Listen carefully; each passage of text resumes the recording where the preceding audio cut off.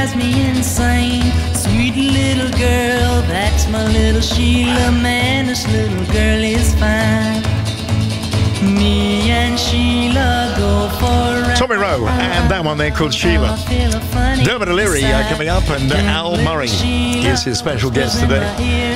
Have a wonderful day, won't you? I'm going to be back with you tomorrow, tomorrow evening at 7 o'clock for the Golden Hour, the fastest show on radio.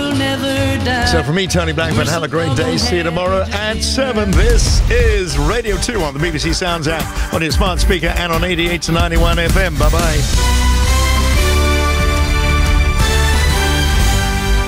BBC News at 8 o'clock on Saturday, the 16th of July. Good morning, this is Anthony Burchley.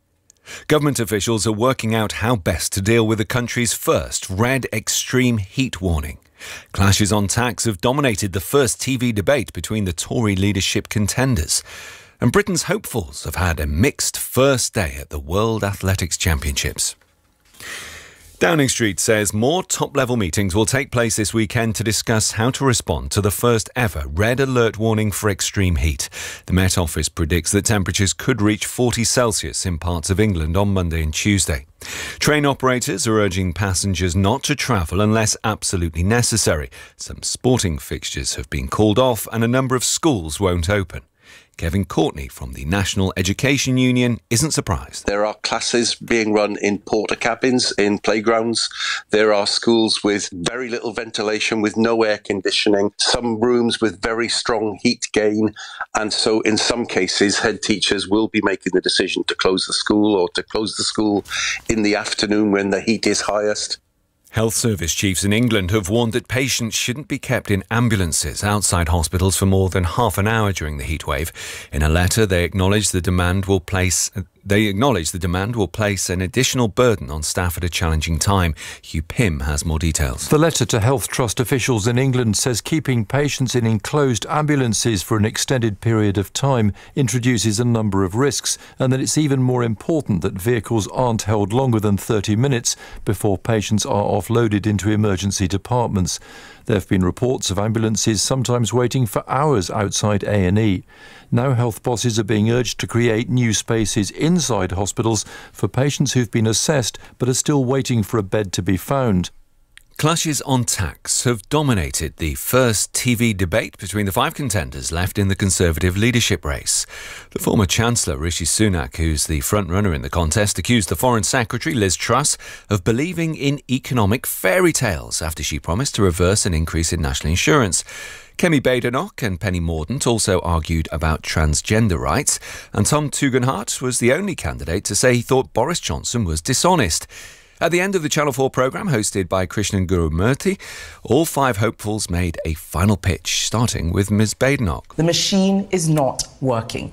As an engineer, I know how to strip things down and get them to work. Tom Tugendhat. We need a clean start. We all know that. Some of us have the answer tonight. Penny Mordaunt. I'm not the traditional offer. I'm focused on the future. Rishi Sunak. The choice at this election is who can be trusted to grip this moment. Liz Truss. I'm somebody who can go into Downing Street on day one and get the job done. President Biden says he's told the Crown Prince of Saudi Arabia, Mohammed bin Salman, that he holds him personally responsible for the murder of the journalist and Saudi critic Jamal Khashoggi. Mr. Biden has faced strong criticism for fist bumping the Crown Prince before talks in Jeddah. Officials in the United States say the demand for monkeypox vaccines is outstripping the available supply.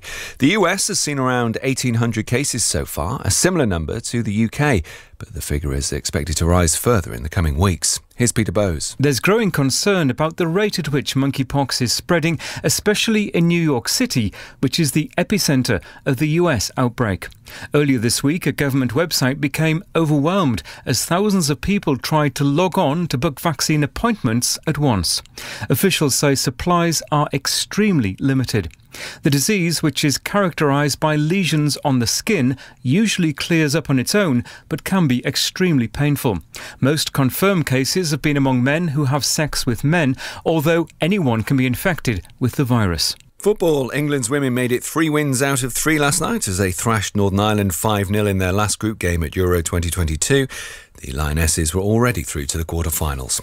There were mixed fortunes for Britain's hopefuls on the first day of the World Athletics Championship in Oregon. Laura Muir progressed in the 1500 metres, but Holly Bradshaw had to pull out of the pole vault. Andy Swiss has been following the action. Holly Bradshaw's hopes were ended in the cruelest fashion as her pole snapped during the warm-up. The Olympic bronze medalist was eventually able to walk away, but after feeling discomfort, she withdrew as a precaution. There was better news for Laura Muir, though, as she eased through to the semi finals of the 1500 metres. And there was a 19th world medal for the US great Allyson Felix in her final race before retiring, as the hosts won bronze in the mixed relay, with the Dominican Republic taking gold. And the weather dry, bright, and very warm once again in England and Wales. Cloudier in Northern Ireland with some light rain around in northern Scotland this afternoon. Today's top temperatures 20 Celsius in Belfast, 21 in Edinburgh, 27 in Cardiff, 28 Celsius in London. That's the BBC News at 5 past 8. Thank you, Anthony. Now, Saturday Breakfast with Dermot O'Leary. Morning, my lovelies. Hope you are well. Let's kick off with this.